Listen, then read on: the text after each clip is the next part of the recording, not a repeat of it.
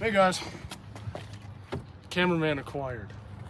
Aside from that, look at that thing. So here's what me and my friend did. You know, Mr. Link 117. He has a YouTube channel. Go subscribe to him. He's gonna make more stuff. Um, you know the license plate.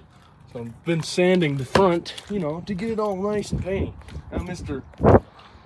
Orange Head here has his grandpa that knows everything about paint correction and just happened to freaking freely mostly really good redo his paint you know possibly you know without having to repaint and stuff. So he's good on that.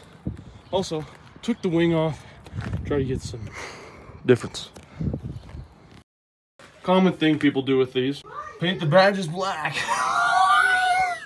I didn't do the lexus badge yet but i did uh, these and it looks here let's go on some light. It looks pretty good. But yeah guys stay tuned for more um, something's cool soon